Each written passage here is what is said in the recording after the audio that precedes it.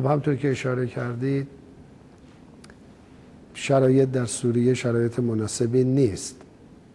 هر روز دی کشته میشن و مسائل جدیدی به وجود میاد و البته این شرایط فقط در سوریه نیست.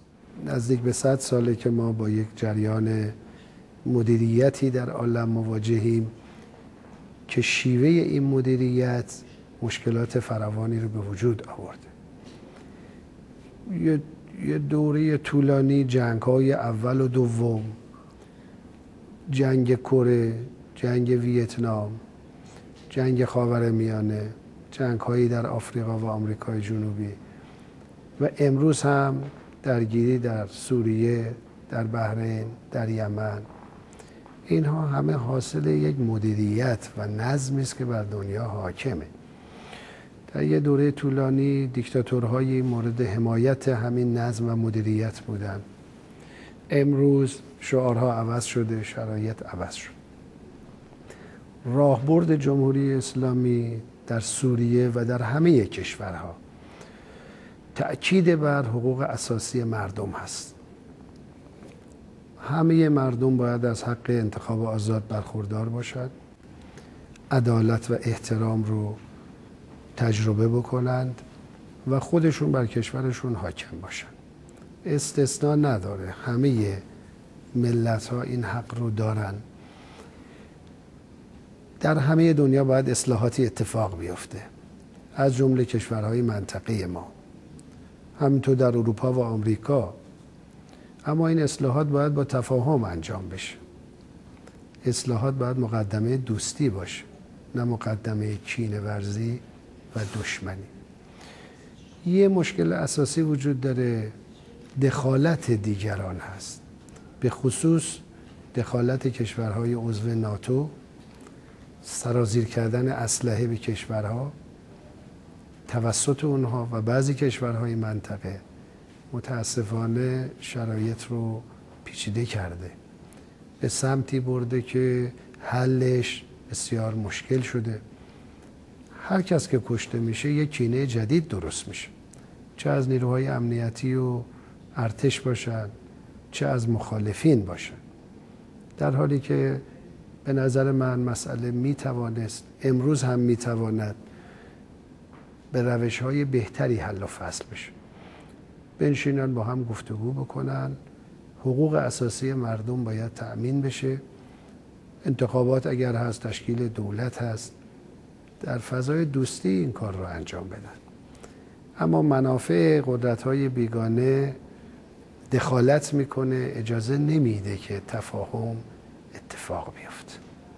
um, اوضاع وخیم شده وارد نقطه شده که وخامت گرایده و از رئیس جمهور اسد دیگه نمی‌تونه کاری بکنه. آیا ایران راه حلی داره که بتونه یک چیزی مثل یمن شرایط یمن در سوریه ایجاد بشه و کمک بکنه به آقای اسد؟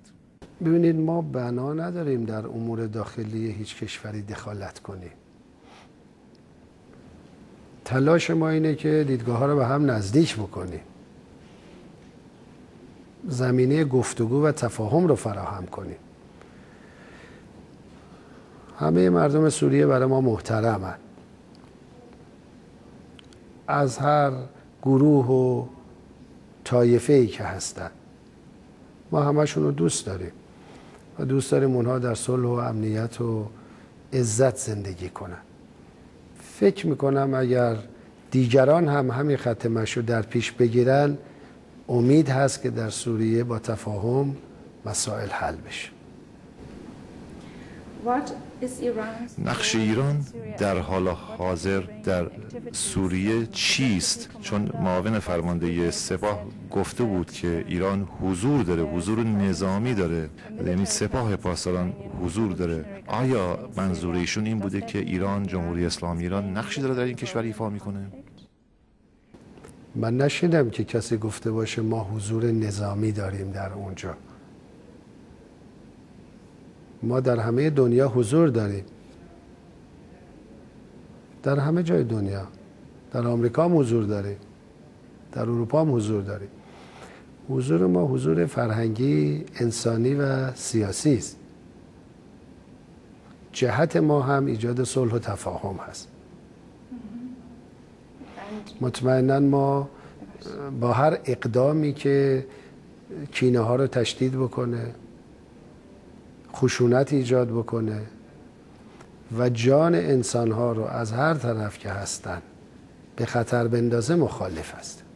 این به این معناست که هیچ حضور نظامی از طرف ایران در سوریه موجود نیست وجود نداره. ما در هیچ جای دنیا حضور نظامی نداریم. البته تبادل اطلاعات با خیلی از کشورها داریم.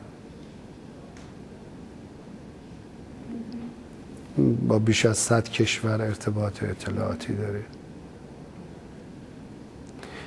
کشورهای زیادی هستند که در ایران آموزش نظامی می‌بینن. و این یه چیز معموله در دنیا. ایران پیشنهاد کرده که می‌تونه شرکت بکنه برای حل مناقشه سوریه. آیا فکر می‌کنید که ایران بخشی از یک راه حل در این کشور باشه؟ یعنی راه حلی رو ارائه بده برای کاهش بحران این کشور. ما علاقه مندیم همه جای دنیا صلح باشه. ما الان برای بحرین پیشنهاد داریم. برای سوریه پیشنهاد داریم. برای لیبی پیشنهاد داریم. حتی برای رفع مشکلات اساسی در اروپا پیشنهاد داریم منتها فضایی که امروز ناتو و کشورهای عضو اون در دنیا ایجاد کردن فضای منطق و گفتگو نیست. فضای گسترش سلطه است فضای یک طرفه است و این به ضرر همه است. گفتین که یک طرحی دارید برای سوریه. آیا اشتباه نکردم؟ یعنی واقعا طرحی یا پیشنهادی دارید؟ این چی می‌تونه باشه؟ که یعنی برای پرزیدنت اسد اینو شما ارائه کردید و می‌خواید ارائه بدید؟ ما تا حالا چندین طرح پیشنهاد دادیم. یعنی چندین بار تلاش کردیم. بارها تلاش کردیم که گروه ها رو به هم نزدیک بکنیم. زمینه رو برای گفتگو آماده کنیم. منتها ما تقریبا تنها بودیم. بسیاری از کشورهای منطقه کشورهای اروپایی و آمریکا در نقطه مقابل بودند. الان هم آماده هستیم همه بیان کمک بکنیم در سوریه گفتگو شکل بگیره.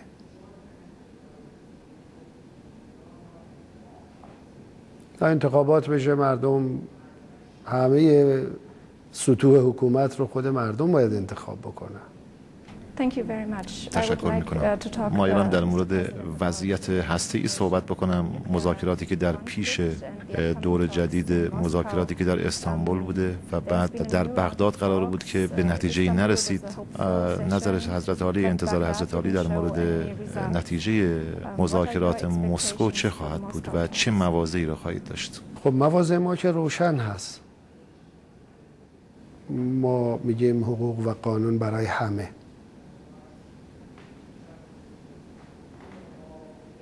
عادلانه و یکسان. همیشه هم به دنبال تفاهم و گفتگو بودیم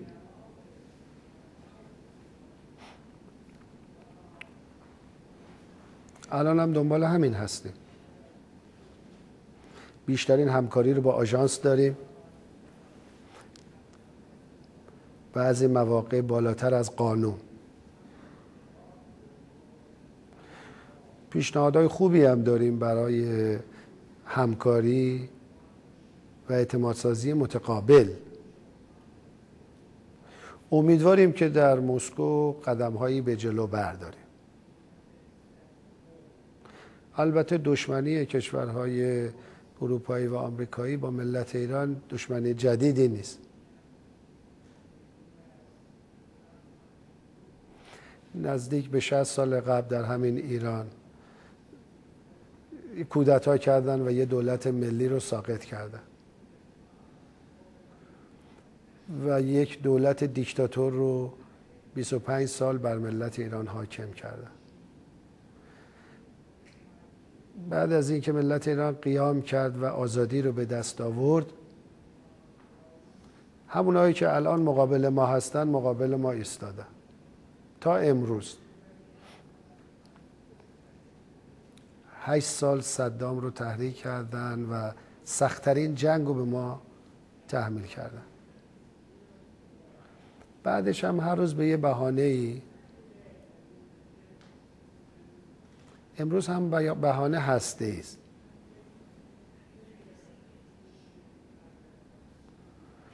ولی همشون می‌دونن که ما نه بمب داریم و نه دنبال بمب هستیم. ما بمب و خلاف انسانیت می‌دونیم.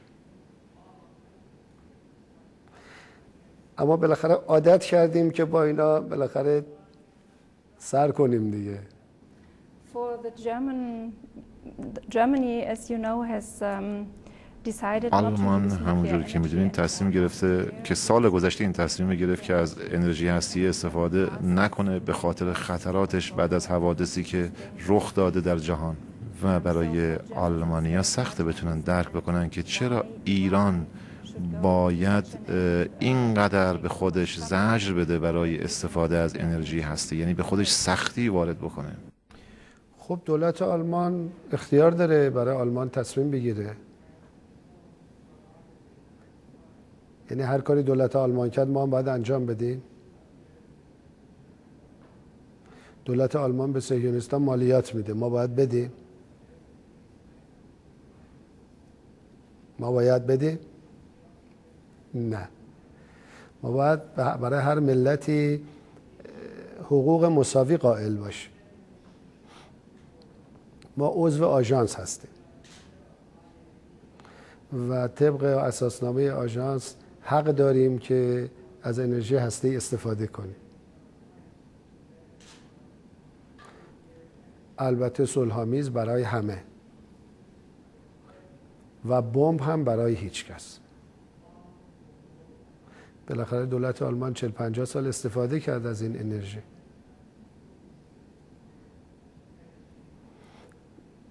و فکر نمی کنم دولت آلمان تصمیم گرفته باشه نیروگاهاش رو تعطیل کنه. شاید بله ما این تصمیم گرفتیم. ما این تصمیم گرفتیم. چون بعد از اون چیزی که در ژاپن اتفاق افتاد مردم دیدن که به نفعشونه که این موضوع رو انجام بدن چون به نفعشونه که بخوان از این فاجعه جلوگیری بکنن. من فکر می‌کنم که مشکل در مورد موضوع هسته‌ای موضوع اعتماد سازیه. یعنی تمام اینها فقط بحث اعتماد سازیه و یکی از موضوعاتی که بشه اونو درک کرد مشکل بشه درک کرد. چرا ایران مثلا اجازه نمیده از تأسیسات پارچین بازرسی به عمل بیاد یا دیدن بکنن کارشناسان آژانس؟ البته شما می‌دونید که انرژی هستی بیش از 16 کاربرد داره. مهمترین کاربردهاش در پزشکی است. الان بخش اصلی غنیسازی ما در راکتور تهران استفاده میشه که تولید دارو می‌کنه.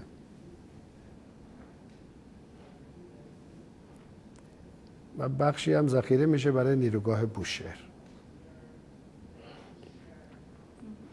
من فکر نمی کنم این درست باشه که از کسی بپرسیم چرا از حقت استفاده می‌کنی.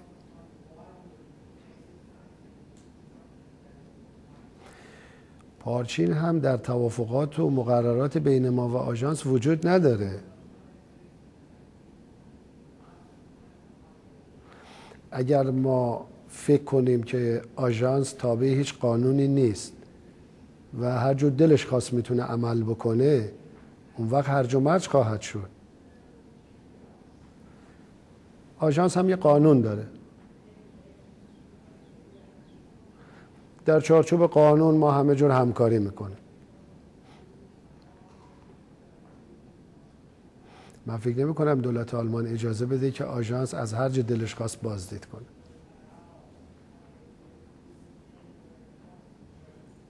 به خصوص ما ملتی هستیم که دیدیم همین کسانی که اصرار دارن پارچین رو ببینن صدام رو تجهیز کردن و 8 سال جنگ رو تحمیل کردن.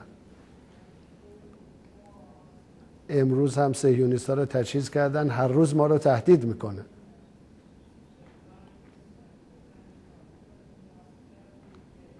و دیدیم که ما تنها کشوری هستیم که هر اطلاعاتی به آژانس دادیم سر از شبکه های اطلاعاتی غربی در آورده و در روزنامه ها منتشر شده.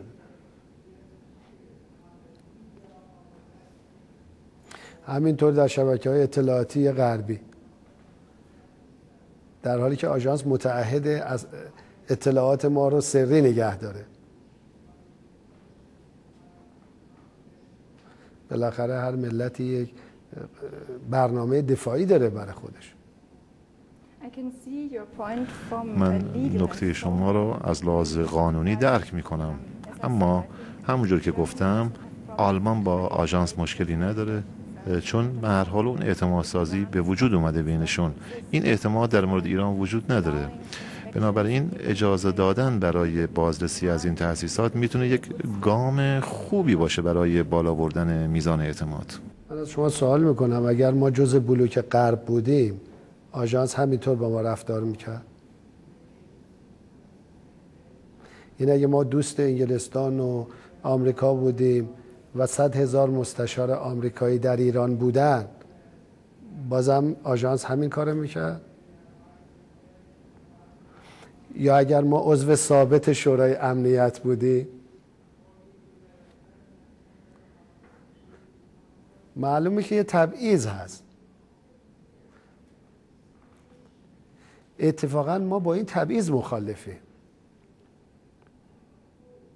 این مدیریتی که تبعیض رو بر دنیا حاکم کرده. ملت ها رو درجه یک و درجه دو کرده. این همه جنگ رو بر بشریت تحمیل کرده. این همه فقر رو تحمیل کرده. بین ملت ها کینه درست کرده. من از شما می‌پرسم بین ملت آلمان با ایران چه مشکلی وجود داره؟ آیا ملت ایران به حقوق مردم آلمان تجاوز کرده؟ یا آلمان این کار کرده؟ ما دوستیم با هم. چه دشمنی با هم داریم؟ یا با مردم اروپا و آمریکا؟ چرا باید بین دولت ها دشمنی درست شه؟ من فکر می‌کنم این مدیریتی که امروز هست منافعش در ایجاد اختلاف و درگیری و تبعیض هست.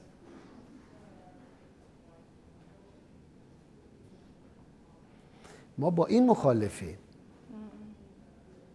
و شما بدونید تمام تأسیسات هسته ما زیر دوربین های آژانسه. هر اقدامی میشه حتی یک گرم مواد جابجا جا میشه ثبت میشه و گزارش میشه با آژانس.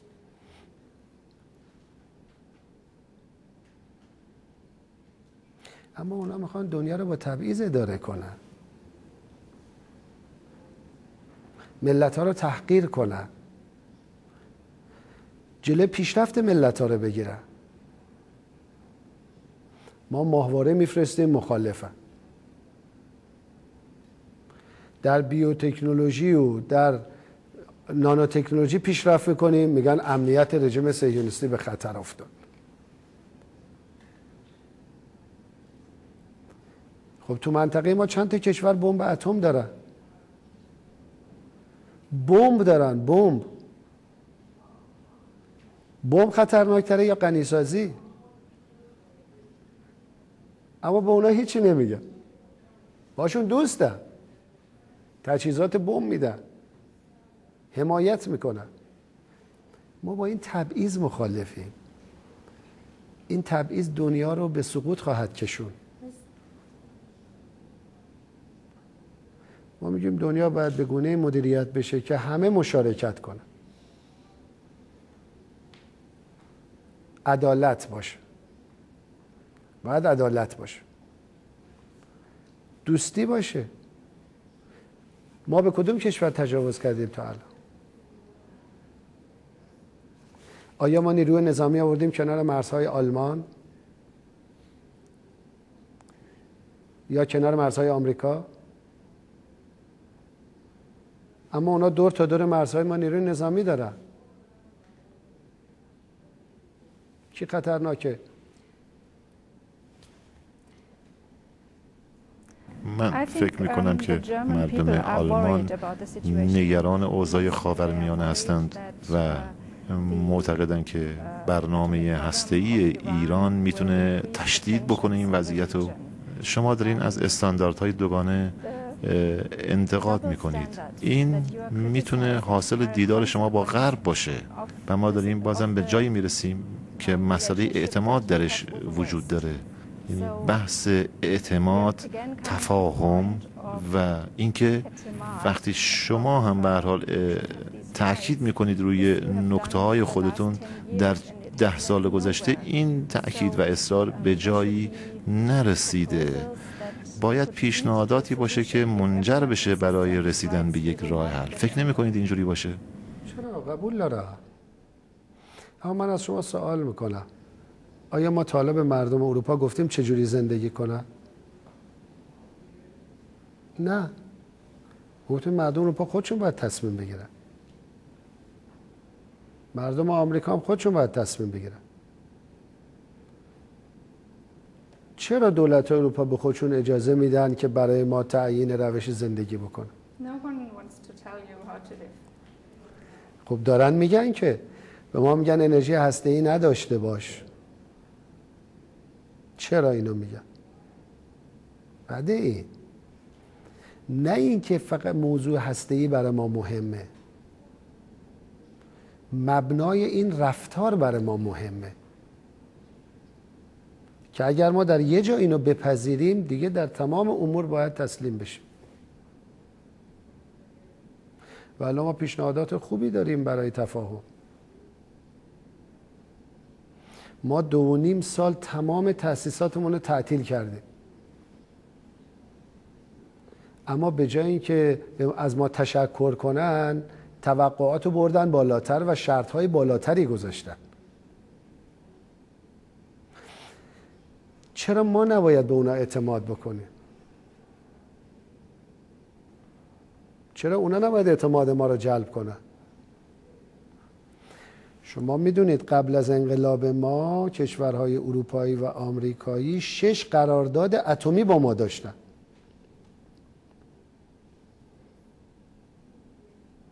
در دوره دولت دیکتاتوری. اما به محض اینکه ما آزاد شدیم یک طرفه قطع کردن.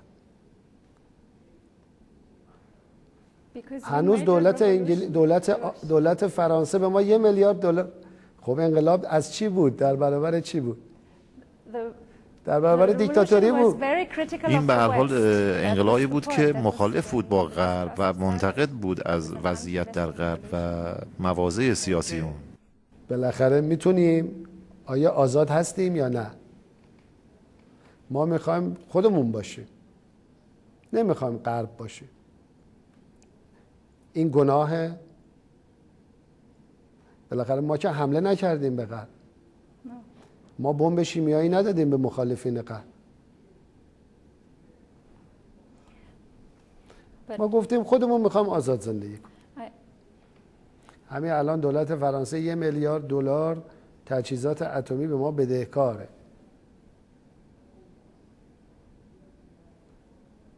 مواد غنی شده مال ماست. شریکیم اونجا. سی و سه سال نگه داشته. ما چطور باید اعتماد کنیم؟ وقتی یه طرف قرارداداشون رو لغو کنن به ما حمله می‌کنن دانشمندای ما رو می‌کشن ما باید اعتماد کنیم. بیش از اینکه اونا باید تلاش کنن که ما اعتماد اونا رو جلب کنیم باید تلاش کنن که اعتماد ما رو جلب کنن. دیروز یک مکالمه تلفنی بین خانم اشنو و آقای جلیلی بوده و به نظر می‌رسه که ایران حاضر باشه به هر حال غنیسازی 20 درصد اورانیوم رو uh, خاتمه بده بهش. فکر می‌کنید که ایران اینو می‌تونه به عنوان یک گام برای اعتماد سازی مطرح بکنه؟ اجازه یه مطلب برای شما روشن کنم. غنیسازی 20 درصد فقط برای تولید داروست. برخلاف تبلیغات دروغ غنیسازی 20 درصد نزدیک شدن به بم نیست. برای دارو شما فقط چند کیلو نیاز دارین در سال؟ اما شما تا حالا بیش از 100 کیلو تولید غنی کردید. بله ببینید الان ما تولید داروم رفته بالا. اون عددی که شما میگید مال 25 سال قبل بود. ضمن اینکه همه اینا تبدیل شده به سوخت راکتور دارو. همش هم زیر نظر آژانس هست. اینا توجه داشته باشید. کسی که بتونه سه و نیم درصد رو بسازه هر درصدی می‌تونه بسازه. این نیست که چون 20 درصد ساخته می‌تونه درصد دیگه بسازه. 20 درصد هم مثل سه و نیم درصده. فرقی نمی‌کنه. اما از روز اول من گفتم اگر 20 درصد رو به ما می‌دادن ما 20 درصد رو نمیساختیم. من پارسال اعلام کردم. الان هم 20 درصد به ما بدن تضمین بدن که سوخت راکتور رو تعمین می‌کنم ما چه مشکلی داره؟ اتفاقا برای ما گران در اومد این 20 درصد. بله. مجبور بودیم. برای اینکه اونا قانون رو رعایت نکردن. طبق قانون باید به ما تحویل می‌دادن. انداختن توی یک درگیری سیاسی.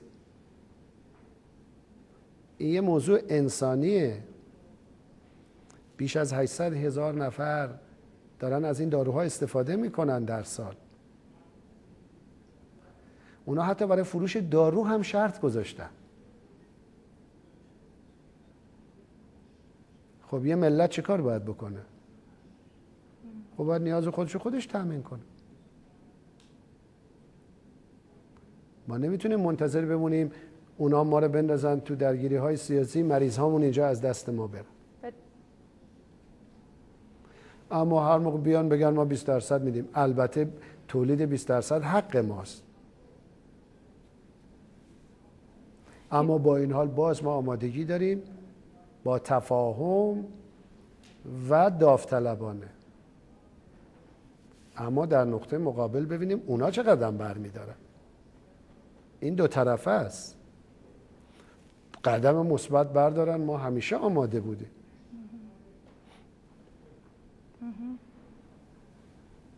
صحبت آقای جلیلی هم با خانم اشنان همین بوده. ما امیدواریم در مسکو قدم های خوبی برداشته بشه ما از این فضای تزاهم استقبال نمی کنیم هیچ وقت استقبال نکرده اینو به ضرر همه می‌دونیم.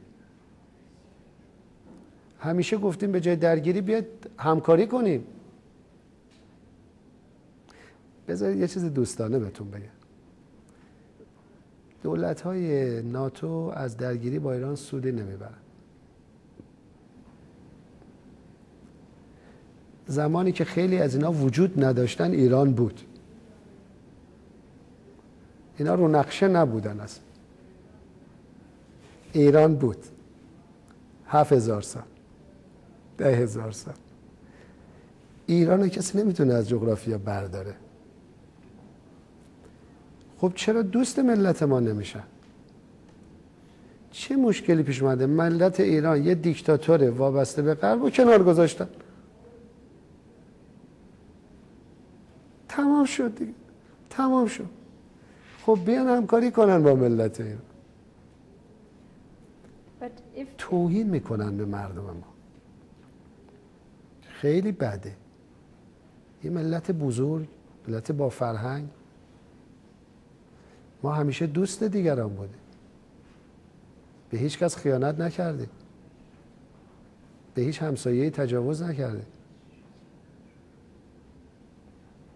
ما در آمریکا طوفان میشه مردم اینجا کمک جمع می‌کنن میفرستن.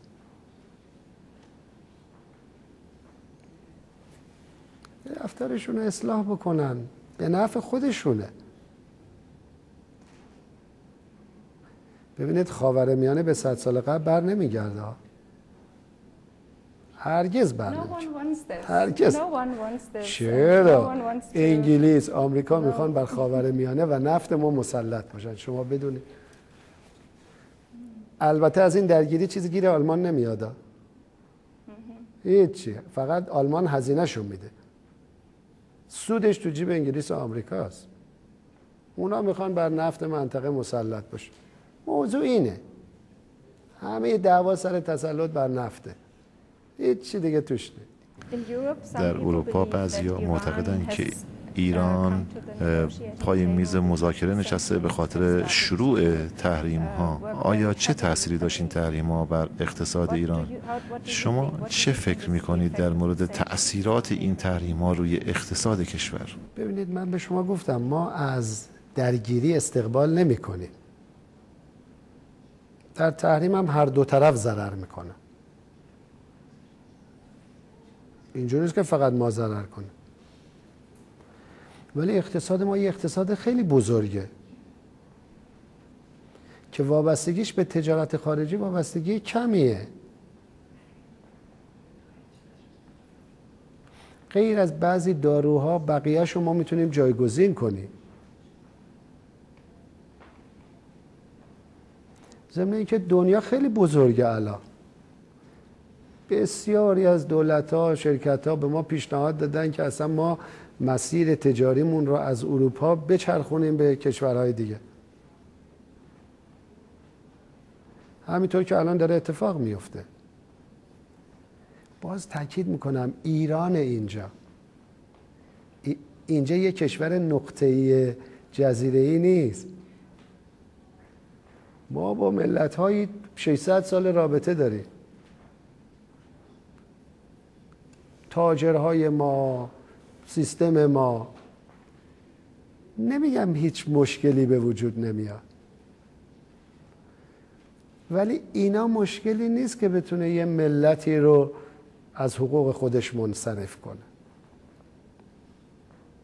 یه ملت بزرگه. به هر حال کارشناسان نفتی هم دارن uh, در مورد اوضاع و مشکلات نفتی صحبت می‌کنن و خیلی از کشورهای آسیایی مثل ژاپن، اندونزی فقط کشورهای غربی نه. پیوستن به این بحث مربوط به تحریم و این در حال حاضر تاثیر گذاشته روی اقتصاد ایران با توجه به نقطه نظر کارشناسان. چطوری می‌تونید بگید که به هر حال یه همچی تاثیراتی وجود نداشته روی اقتصاد؟ من نگفتم هیچ تأثیری وجود نداره. اما این تأثیرات دو طرفه است. طرف مقابل ما هم ضرر می‌کنه. خب می‌بینیم که پنج ساله که اتحادیه اروپا ما رو تحریم کرده. من از شما سوال می‌کنم. الان وضع اقتصادی تو اروپا بدتره یا تو ایران؟ واقعا فشار بر مردم الان در اروپا خیلی سنگینه. ما ناراحتیم. ببینید دو طرفه است. هم دوستی دو طرف است دو طرف سود می‌برن هم دشمنی دو طرف است. دو طرف ضرر می‌کنن. ولی اگر خیال می‌کنند اقتصاد ایران به هم میریزه اینجوری نیست. با برابری قدرت خرید حجم اقتصاد ما 1400 میلیارد دلار از این 1400 میلیارد دلار 75 میلیارد دلارش واردات. واردات ایمپورت. تقریبا یک بیستم. تازه بخشی از اینا ماشینالاته 15 میلیاردش 20 مواد مصرفیه. تجربه نشون داده. هر جا ما تحریم شدیم در یه فاصله کوتاه خودمون ساختیم. دو سه سال تحمل می‌کنیم همشو خودمون می‌سازیم. بعدش چی میشه؟ بعد دیگه می‌خوان چیکار کنن اروپایی ببینید ما با این نوع نگاه و رفتار مخالفیم. بیان بشینن قانون بذاریم وسط. هر چی هست قانون برای همه. برای همه یک سال. بعدش هم با هم دوستی کنیم. مسیر دشمنی با ملت ایران مسیر بینتیجه است. من دوستانه دارم میگم بی نتیجه است. خودشو بیشتر ضرر میکن حالا خواهید. فعلا که یورو اوضاعش خراب شد. اصلا در حال سقوطه. ما خوشحال نیستیم ما ولی چرا مردم اروپا باید در فشار باشن؟ به خاطر تصمیم غلط سیاستمداران. مردم نقشی ندارن. سرمایدارانی هستن تصمیماتی می‌گیرن. مردم باید هزینه شو بده چرا باید اینطوری باشه؟ Mr. President, the oil production of Iran is coming down and has been coming down for the last couple of years and Iran might lose its power position. آرزوهای ما هست که یه روز ما نفت صادر نکن.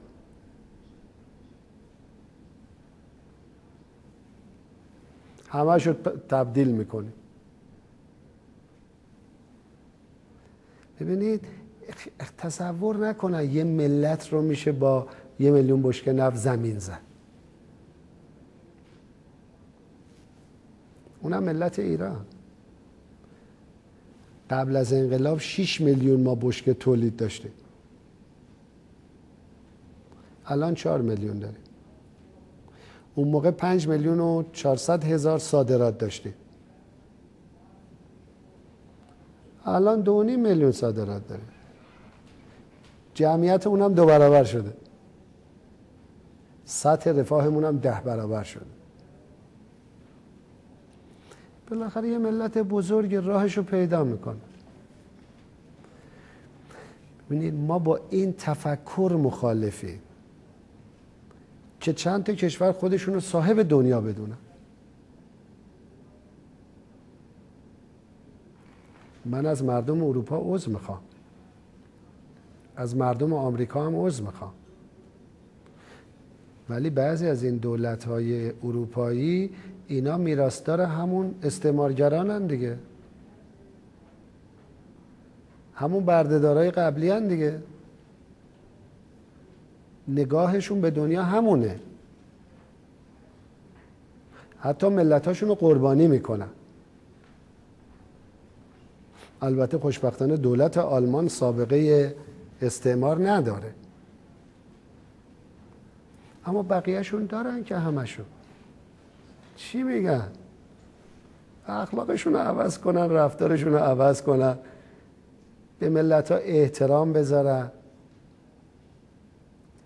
بیان دوستی کنن بشینیم با هم صحبت کنیم همکاری کنیم. Mr. President, I would like to return to the economic situation. ما نفروشیم اونا هم کالا صادر نمی‌کنن. روشن. دو طرف هست اونا هم ضرر می‌کنن. I would like to talk about your own economic در مورد سیاست اقتصادی خود جنابالی صحبت بکنم در دوران ریاست جمهوری. و با توجه به اینکه سال آینده نمی‌تونید انتخاب بشید می‌بینیم که در زمان حضور جنابالی خیلی قیمت ها بالا رفته وضعیت سختتر شده بود و بعضی از اطلاعات اقتصادی که نشون نشون میدن زیاد وضعیت موفقی رو نشون نمیده و تو روزنامه چیزایی که منعکس شده. با توجه به گزارشاتی که در مورد نرخ بیکاری هست تا بیشتر از 6 درصد. ببینید مشکلات اقتصادی فقط تو ایرانه. در همه جای دنیا هست.